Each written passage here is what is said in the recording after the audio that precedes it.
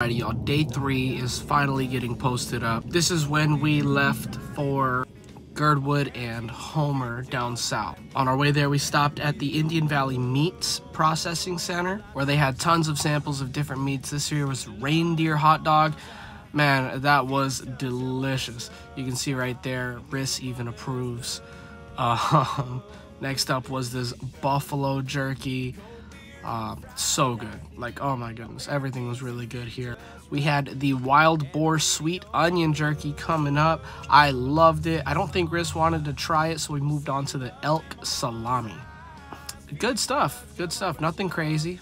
Head nod of approval from Riss. Here they had this wall of a bunch of kids who had shot um, these huge game animals, which is crazy. After that, we decided to keep heading down south to the Animal Conservation Center. It was kind of like a zoo. You can see Riss is very excited here to get going, and this will be in the next one.